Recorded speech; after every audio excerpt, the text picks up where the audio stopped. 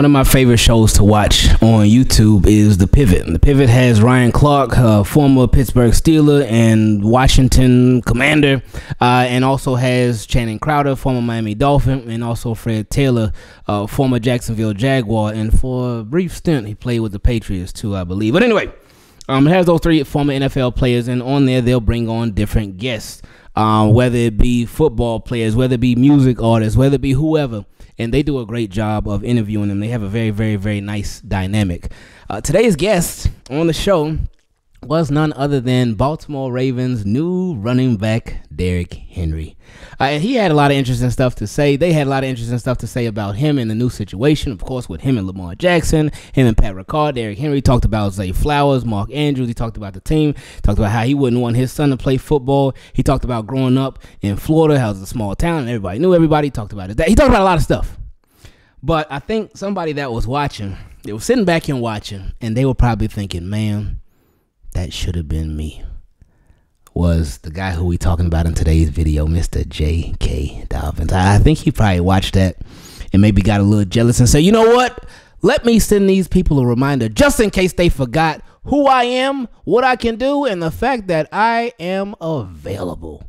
Called his agent. He said, Agent, send the text. And this is the report that we got today. It says, uh, free agent running back J.K. Dobbins has been cleared for football activities. Dr. Neal ElAttrache wrote in a letter to select teams today. I wonder who those select teams were. Anyway, it says, noting Dobbins looks outstanding coming off of a torn Achilles.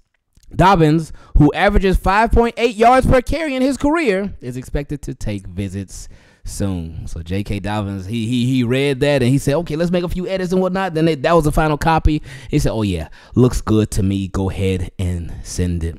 Now with J.K. Dobbins. Should the Baltimore Ravens bring back J.K. Dobbins? Because I think that's a conversation that a lot of Ravens fans have been having recently. We're going to get into that very, very shortly. But before we do, make sure you subscribe to the channel. We are almost, slowly but surely, getting to 75,000 subscribers. So that's gonna be a, a, beautiful thing when we get there. But I appreciate all y'all that have been helping us get there. So subscribe to the channel, turn your notifications on, and run them likes all the way up. Like we said in the previous video, I, I know that your time is extremely valuable. So I appreciate the fact that y'all spend so much of your time with us on a daily basis, literally every single day. Todos los días. I appreciate y'all a lot. So thank you. I love you. And somebody else who we got a lot of love for was J.K. Dobbins. J.K. Dobbins had some fun moments uh, throughout his Ravens career. Um, will his career be over with the Baltimore Ravens? Now, we'll see because they obviously got a new sheriff in town at the running back position in Derrick Henry. Uh, they have a returning running back uh, in Justice Hill, uh, and they have another returning running back uh, who we don't know when he's going to return yet, though, and that being Keaton Mitchell. Uh, John Harbaugh did say the other day, he said, "Hey, we we've been talking to J.K. Dobbins and Dalvin Cook uh, about the possibility of those guys coming back, whether it's one or the other, both. We'll see. Maybe none, but we'll, we'll see. But with J.K. Dobbins, what do y'all think? Do y'all think it'll be a good idea if the Baltimore Ravens brought him back? I feel like people are I don't feel like anybody's on the fence with this one at all. I, have seen a lot of Ravens fans say either yes, the Ravens need to bring him back. I want my dog JK to come back. He needs to be a Baltimore Raven this year. Let him come back for one more run. Then I've seen other people on the other side say, no, let him go. J.K. Dobbins does not need to be a Baltimore Raven in the year 2024. He's done. Need to move on. And, and, I get where both sides are coming from because the side that wants him back is like, hey, J.K. Dobbins got all the qualities of a running back one, but the only thing that's been in his way, which is a huge thing that has been in his way, has been injuries. But then the people who don't want J.K. Dobbins back, they may feel the exact same way. Hey, he got all the potential of a running back one, but the only big thing that's been in his way has been injuries. And for that, they don't want him to return the way I feel about J.K. Dobbins, um, I, I do feel like it would not be a bad thing if the Baltimore Ravens brought him back, but it would need to be one of those deals. And it, it's not my money. And of course, this would be up to J.K. Dobbins too to even accept such a thing because he doesn't have to. He could go somewhere else and they may give him more guaranteed money and whatnot. But I think if the Baltimore Ravens brought him back, it would be wise of them to give him a deal where it was he got per game roster bonuses. And what that means is that if he if he plays, then he gets paid. But if he didn't play, then he wouldn't get paid. And I think that would be smart because that would protect the Baltimore Ravens. It wouldn't necessarily protect uh, a J.K. Dobbins, but he would be somewhere that he's very familiar with in a system that he knows he didn't get to play in it too much. He played in it for a partial game, but he was learning it for an entire offseason. So that would give him a shot to be behind Derrick Henry. And because you know Ravens do running back by committee. Now that they got Derrick Henry, I wonder if things will be a big a bit a bit different because Derrick Henry in Tennessee that was not running back by committee at all. It was Derrick Henry, and that's it. He even talked about how um, one time in high school he talked about this on the pivot. I know you're gonna watch it. Uh, he talked about one time in high school how he got 57 carries in a game. 57 carries in a game. Like, when the last time you heard of a, a, Ravens running back even getting 30 carries in a game, getting 25 carries in it? That doesn't happen at all. Like, for a Ravens running back to get 57 carries, that's probably like, that might be like six, seven games. Like, for real. Because, you know, Ravens running back, they might get like 10 here, maybe 12 here. Ooh, 15 if you're feeling lucky, but you ain't to get that much. So now I, just wonder how the dynamic is to be now that is Derrick Henry. Uh, are they going to still do this running back by committee, or is he really going to be the focal point uh, when it comes to the running back room? We'll see soon. But what about J.K. Dobbins? Uh, we of course we saw that video um, maybe about a month ago where J.K. Dobbins was running on a treadmill, and we couldn't tell if he was 100 percent or not because he was he was doing these quick sprints, but they weren't like sprints down the football field, anything like that. But they was quick sprints in a room, uh, and he did look good doing them. Uh, but now this is big for him because again, this said that he's been cleared for football activities. Now, um, something that was very interesting that we spoke about briefly is that uh, they wrote they wrote in a letter to select teams. So they ain't send this letter to everybody, but they sent this letter to select teams, letting them know like, hey, I got J.K. Hey, he's available. And I wonder if again we talk about timing all the time. And the timing of this is very interesting because um, not because of the Derrick Henry on the Pivot podcast. We were just joking about that, but more seriously, uh, the timing of the running back market because the first big wave of free agency has passed already. So now free agency, people are still getting signed, of course, but free agency has kind of quieted down a lot especially with the running backs. Uh, Saquon Barkley, he got the big money. Of course, Derrick Henry, he got signed to uh, the Ravens. Josh Jacobs, he got the the big four year, forty eight million dollar deal with the Packers.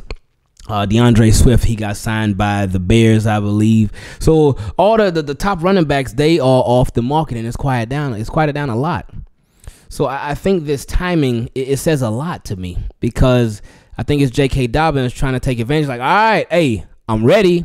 I'm here. I'm available. That first wave of running backs, that's done and over with now. Yeah, I'm not going to make as much money as them, but let me get on with a team because I'm ready.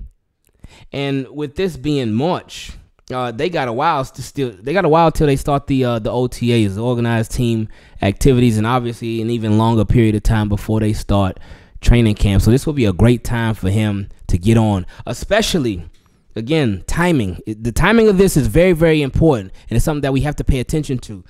If I'm J.K. Dobbins, I want to sign somewhere before the draft that's coming up in a month, because with J.K. Dobbins, it's tough, man. Because again, good running back. Very good running back, but the injuries have absolutely destroyed his career. So now imagine this. You got a draft coming up. Seven rounds, 32 uh, picks per round. You got the comp picks and all that too. You got the supplemental draft. You got undrafted rookie free agents. And then you still got free agents that are available too. But at the running back position, there's a lot of young guys that are going to be coming out of that draft that teams are going to be looking at. And they're going to be like, oh, they don't have an injury history. Oh, they got a clean bill of health. Oh, they don't have four years in the NFL already. that have been just derailed by injuries. They don't. I don't have to worry about that with this rookie coming out. So that's would make all the sense in the world why J.K. Dobbins and his camp would put this out now, so he can get signed ASAP. He can get as much guaranteed money as he can he possibly can from whatever team is going to be ASAP because the longer it takes J.K. Dobbins to get signed, in my opinion, the less guaranteed money that he would get. I think it would be already be hard enough for him to get a significant amount of guaranteed money with his injury history because nobody's going to want to shell out a, a, bunch of guaranteed money to somebody who's missed uh, so many games over the course of their four year career. But see, the thing that's on JK's side is just his ability, what he has put on film uh, over the past four years. And when he does play, he's good. He's really good. But he just got to be out there. That's why I think if the Baltimore Ravens did bring him back, it would be heavy on the incentives, the per game incentives, the per game roster bonuses. Um, if he was active on game day, that it would be heavy, heavy, heavy on that. But at the same time, uh, if the even if the Ravens don't bring him back, whatever team he goes to, I think the contract will be constructed like that. Uh, I think J.K. Dobbins will get anywhere from a one to a two year deal. Um, but I think the if any guarantees at all, they'll be crazy low. Um, and it'll be something that he really has to earn because he had he got to gain a lot of people's trust back. Um, he got to show these teams, these franchises, like, hey, I can play, I can last a full season, I can do it. But at the same time, a lot of these teams may already have their running backs. And if they don't have their running backs, then they could be looking at the draft like, oh, we got plenty of cheap options through the draft. We ain't got to use a first round pick. You could, you could, but you ain't got to. You could use a second round pick, third, fourth, fifth, whatever you use. Uh, it can be a lot cheaper than signing a free agent. So it's it's going to be interesting to see uh, what happens with J.K. Dobbins, where he ends up taking those visits to, what teams ended up getting this letter. Uh, but we are rooting for J.K. Dobbins. I, I, I do want to see it work out for him. I would love to see him running healthy. And, you know, by how things have been going, by how they almost looking like the the former Ravens Avengers or something over there, I wouldn't be surprised if he end up over there in LA with the Chargers with Greg Roman, with Gus Edwards, with um the tight end uh Hayden Hurst, uh with Jim Harbaugh, uh with Bradley Bozeman, and whatever other former Ravens end up over there real soon.